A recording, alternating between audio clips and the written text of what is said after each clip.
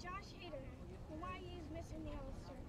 Josh Hader is missing the All-Star game because his wife was ha was having difficulty having a son, Lucas. But now Josh Hader wants to spend time with his wife and um, Lucas, his newborn son. This means the American League